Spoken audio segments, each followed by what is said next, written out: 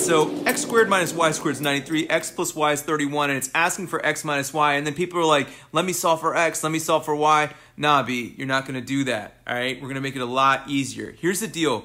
Anytime you have something squared minus something squared, it factors really, really easily, and here's how you do it, okay?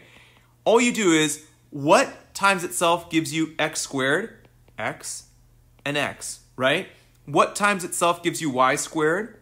Y and y. And because the middle sign is a negative, you make one of these positive and one of these negative because a positive times a negative gives you a negative, okay? Now, x plus y is 31, okay? So 31 times x minus y is 93. We're trying to solve for x minus y, so divide both sides by 31, and you get x minus y equals 3. Boom!